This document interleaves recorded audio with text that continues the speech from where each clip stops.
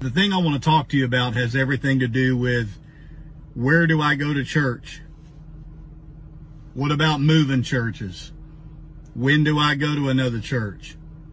Is it all right for me to leave the church I'm in and go to another church?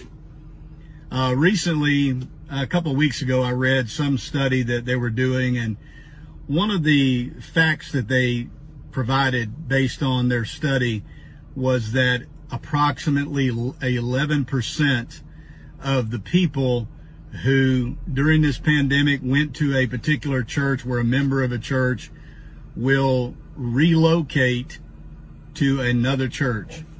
I don't really understand that. I don't really understand the dynamics and the whys and, and all that. But I can see where that that is possible and I see where that that is uh, a reality. But think of that for just a minute. Say you got a congregation, you got 100 people. On average, that means a lot of your churches are going to see about 11 people relocate to another church just because of the goings on of this pandemic and things that have happened and maybe they saw another church online they liked better and they thought oh i'm going to start going to church over there there's a lot of things to be said about that and i want to try to make a point here to show you just how self-centered and how self-serving that a lot of our decisions can be and it's actually misguided and I want to show you that. Take, for example, where do we go to eat?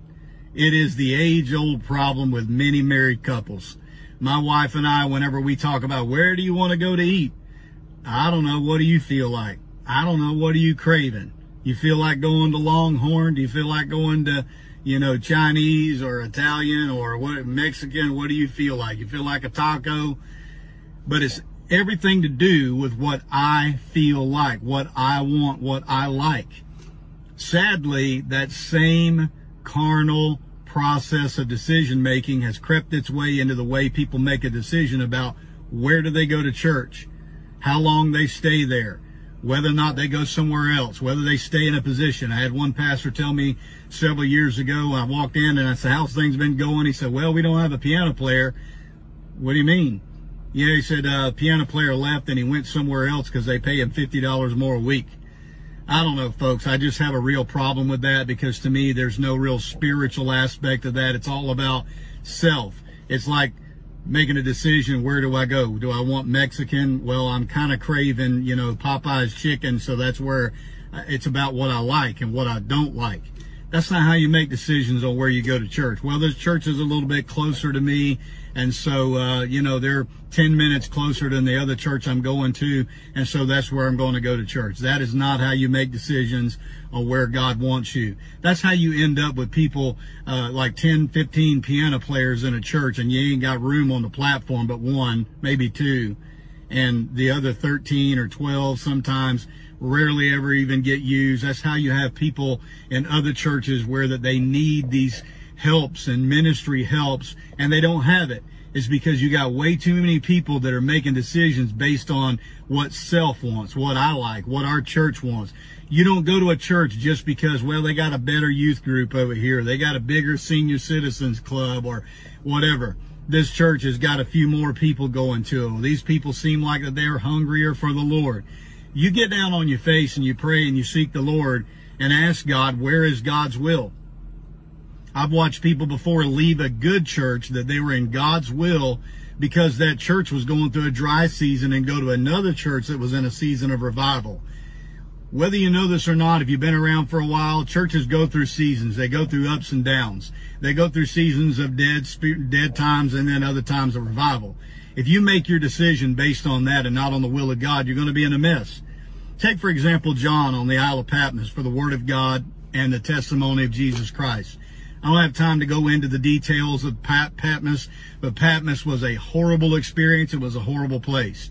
And I can guarantee you that if John the Revelator would have had his ruthers, he would not have gone to the Isle of Patmos. It's not a place that's pleasant. But he was there for the Word of God and the testimony of Jesus Christ. That's what God does. He sends you to a place because you will be helped and because you may help others or help that ministry. That's what it's about.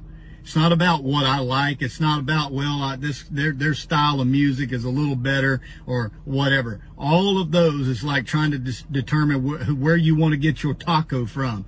Well, I like my taco from Tijuana Flats, or I like my taco from Taco Bell, you know, or I like it from the taco truck. That is how people are making decisions, and that's where, where a lot of people get into a spiritual mess why is this so important? I'm, I'm telling you, this is a big deal and a big subject, and it's bigger than I can even express to you on video. I get people all the time who will message me and they'll say things like, Brother Myers, this church that we're in, this is a problem and that's a problem, and you know, the preacher this and these people that we go to church with, and granted, yeah, there's times that God may move you, I understand that. But a lot of times it's because something that somebody does not like. Your number one question should be, is it God's will?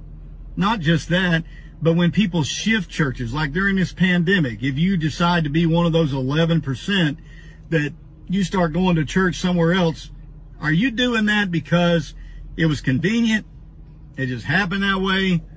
I mean, why? Did, at what point did God go to you and say, uh, look, you know, I, I want you to start going to church XYZ. Did he or did he not? I mean, if he didn't, then that's a problem. Because in reality, that's not the way it works.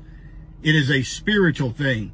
And if you use carnal means to make spiritual decisions, you're going to end up spiritually bankrupt. You cause problems at the church you leave, and you can cause problems at the church you're going to, and you can cause problems within your own family unit you need to make sure that everything you do, you're in God's will and it's not about what I want, what I like, and they like, and whoever likes. It's not because the pastor down the road has been, you know, uh, liking every comment that I got on Facebook. It's not because they've been pandering to me.